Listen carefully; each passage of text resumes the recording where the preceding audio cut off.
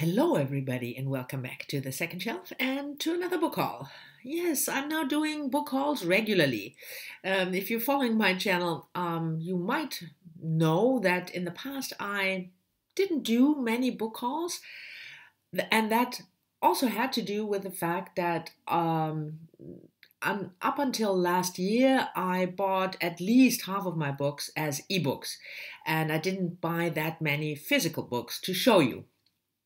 But if you remember, I bought this card last year because I succumbed to FOMO. Everybody had a card and I didn't, so I needed a card. And you have to fill that card with books that you want to read, and you can't fill them with ebooks. So the card also made me buy more physical books, and hence I can film more book hauls. And I bought quite a few in February. I have to say that in order to keep at least the finances a little bit in check, I buy, if possible, I buy uh, the books used, certainly if it's a backlisted book. And the first book I want to show you is such a backlisted book that I bought used, and that is Louise Erdrich's novel The Beet Queen, first published in 1986. Um, um, if you're following my channel, you probably know that one of the projects, reading projects for 2020, is called Author Spotlight. Um, and the author in the spotlight is Louise Erdrich, because I really love her work, but I haven't read nearly, I, I think I've read only um, not even half of her novels. So, uh, together with Terri from uh, Miss Terri B, uh, leave a link to her channel down below. Please check her out if you're not subscribed. Um, she wanted to also read uh, Louise Erdrich's back, uh, backlist, um, the novels. So, we're reading them in chronological order. Last month, uh, we read her debut novel, Love Medicine, which we both really, really liked. And this month, her second one, The Beet Queen. Uh, this is a historical novel uh, starting in um, 1980s, uh, 1930s, uh, sorry, uh, about, um, and we follow a couple um, that moves to North Dakota, and then it's a 40 year family saga. And I'm sure one of the women will be the Beet Queen. Uh, I don't know more than that. I haven't read this one. Love Medicine was a reread for me, but I haven't read this one, so it will be a new book for me. Uh, for Louise Erdrich, and I'm really looking forward uh, to this one. And uh, Terri and I will start buddy reading this uh, mid February. So I will report back as soon as we read it. The next two books I bought for Black History Month uh, because I want to read at least two or three um, black authors uh, during the month of February. And the first one is quite a battered copy that I bought. Um, Sweetheart it's glaring. Alicia Mackenzie. She's a, uh, Alicia Mackenzie is a Jamaican author that I really wanted to read for quite some time and haven't gotten around to it. Um, and there's also a prompt, um, the Reading Women Challenge that I'm doing, and one of the prompts is read a Caribbean uh, or Indian author. So this fits various things that I want to do during the year. Um, this is a debut novel. Um, Alicia uh, Ken- Mackenzie has written uh, short stories before that. I've already read it and I really liked it. It's the story of Dulcie, a Jamaican artist who moves to New York and makes quite a splash there. Um, the book opens when Dulcie has died, so that's not a spoiler, that's the premise of the book. And then we are told about Dulcie's life from various points of views, people who are in one way or another related to her. So we get from her best friend, from her husband, from her father, uh, from other family members. We get short uh, chapters relating a story how they see Dulcie. And in the end, um, this gives us a picture of this rather fascinating woman, Dulcie, who died really young in her early 30s. I will talk about more. I will talk more about this book uh, in a recent reads, um, but I read it and I really liked it, and I don't care that the the this copy is rather battered. I was looking for this book for so long so that I was just happy to have found it. The second book I bought for Black History Month uh, was also a used copy, but in much better condition than Sweetheart, and that is Zora Neale Hurston's I think, most famous uh, uh, novel, Their Eyes Were Watching God, first published in 1937. And I haven't read it. Yes, yes, shame on me, curse at the screen, I know. I feel bad enough, so you don't have to add insult to injury.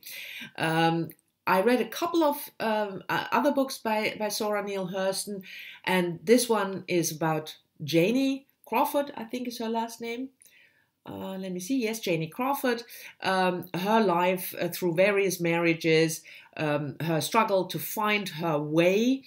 Um, and I'm looking forward to this book, of course, otherwise I wouldn't have bought it. I have to say that um, I sometimes struggle uh, with Zora Neale Hurston's work, who was, by the way, one of the most famous authors of the Harlem Renaissance, but you know all that because you all have read this book. Anyway, but I struggle sometimes with her books uh, because of the dialogue. She writes dialogue in um, the way uh, people speak. So it's for me sometimes as a non-native English speaker, it's difficult to read. I need some time to get into it uh, in order to understand what people are talking about. Uh, so I hope I will get along with this one, but I'm uh, really excited to have finally bought this one and I will read it in February and of course I will report back. The next two books uh, that I bought are also sort of part of a theme because one of the things that I really want to uh, put more effort in uh, is reading translated works of fiction. Um, I, I try to read at least two each month um, and read books also, you know, not translated from the Italian only, but try to sort of expand my horizon a little. And the first one I bought to do just that um, is a modern classic, first published in 1973, uh, Child of Fortune by Yuko Tsushima, uh, translated from the Japanese by Ger- Geraldine Harcourt. Um, I have never read this author, and again, shame on me because she is. Uh, as I learned, one of the most uh, prominent uh, contemporary chi- uh, Japanese authors. Uh, so I'm really uh, I feel bad throughout this whole video. I feel bad because of all the books that are famous that I haven't read. But this sounded intriguing as well. It's quite a short uh, book about um, a woman who is uh, pictured as a complete failure failure as a mother, failure as a wife. She's very self absorbed. Um, and I always like these kind of um, a bit off characters I, am not that thrilled by the by the print. I have to say, it it's not my my favorite sort of very small smallish print, and then they leave these huge margins, so they could have enhanced the print a bit, but. There you go. So anyway, I will read my first uh, Yuko Tsushima. Sean, you should be proud of me because if I remember correctly, you really love this book. And the other translated book that I bought uh, for February is a book that I've been meaning to read ever since it has been published in English two years ago in 2018, and that is Négar Djavadi Disoriental, translated from the French by Tina Kover, first published in France in 2016. Um, uh, the author is uh, has been was born in 1969 in uh, Iran, but um, uh, immigrated to France and writes in French. Um, and it's about uh, a woman, um, Kimia, I think you pronounce her name. I'm not sure. Kimia, help me if you are uh, a Persian speaker. Um, who, uh, like the author, uh, fled Iran with her mother and siblings in order to join her father, who already lives in France. And then it tells us the story of this woman. Um, the book has won multiple prizes, as you can see on the cover deep sigh.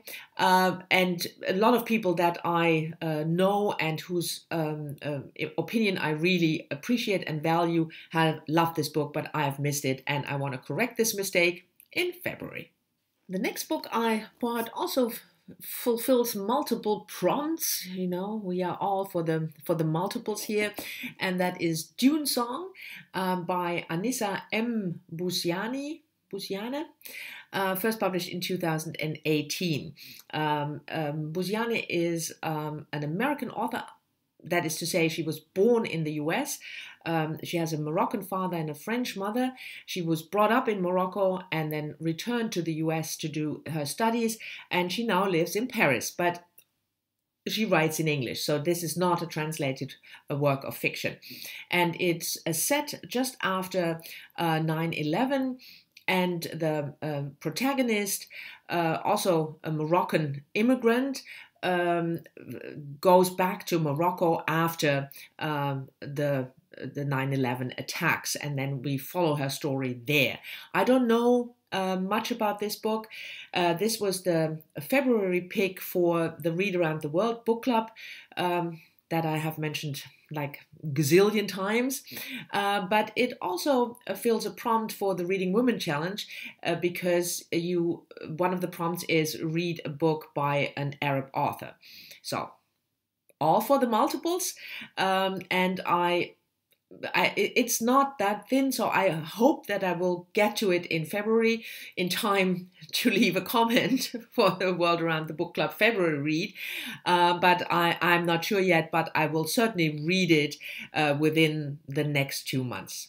Having uh, having listened to all my, the books, you might ask, "Where's the nonfiction? Where's the nonfiction? You promised us that you will feature more nonfiction." Yes, I will. Here we go. Pale Rider by Laura Spinney, first published um, in 2017. And you might not be surprised by the topic because I'm still in the middle of the pandemic obsession. Uh, so, this is one more book that I want to read about the flu pandemic in 1918 1919. Um, it's a fairly recent book, published just short of 100 years after the pandemic um, and it gives an overview over the global um, uh, impact that this flu had, and also, uh, as the subtitle said, how it changed the world. Um, I mean, it's always when you read on a certain topic, like I'm now obsessed with the flu pandemic of 1918, um, and I read now I think five or six books, and of course. Um, the books overlap in in uh, what they tell. I mean, it's not that every book has a new angle. Uh, so it's, uh, but I find that not boring uh, because every author um, always chooses to, you know, to focus on a certain point or a certain theme and it it really gives me a broader picture of this whole um, um, pandemic so i'm really looking forward to this especially uh, also because it, it says something how it changed the world so i, I guess we get an outlook of what happened uh, after and because of the flu um, and it won't be the last. So there will be more um, flu pandemic books featured on this channel. I can promise you. And the last book I want to show you is a German book, but it is available uh, in an English translation, and that is Ida Pfeiffer. This is obviously the uh, German language edition, um, Reise einer Wienerin in das Heilige Land. So, the travel of a Viennese woman um, to the Holy Land. Um, and this is a republishing in, an, in a horrendous print but what can you do? Um, Ida Pfeiffer uh, was born in 1797 and she traveled the world and wrote about it. And I had never heard of it, of her or her books. Uh, but Mel from Mel's Bookland Adventure came across um, this woman and her books, and we decided uh, to read it together in February. Um, you might know Mel and I, we are both organizing this year long um, uh, read along, readathon, uh, Read German Books 2020, in which we uh, ask people or hope that people will read more books written originally in German, in whatever translation you want. I will leave a link to the Goodreads group down below. If you haven't heard of this um, readathon, you can check it out. And the, the only thing you have to do is read at least one book that was originally written in German. So this one uh, was first published in 1850 um, with a different title. Um, uh, so this is a republishing, as I said, and it's a, really a travel journal about this woman who was even though I had never heard of her, quite exceptional for the time, uh, the early and mid 19th century. As a woman, she was the first woman uh, who uh, traveled through Borneo. Um, she traveled to Egypt, uh, here to the Holy Land, to Brazil. So she was a world traveler um, and she wrote about it. I thought that was fascinating when Mel told me about it. Uh, and I'm really looking forward, despite the horrendous uh, print edition, I'm really looking forward uh, to reading this together with Mel. So, these were the books that I bought in February. Thank you very much for watching. I hope you've enjoyed it. Looking forward to talking to you as always in the comments maybe you want to recommend books that you bought uh, in February that you are excited about. Uh, let me know whether any of the books that I just hauled interest you, and I'll see you all soon in the next one. Bye bye.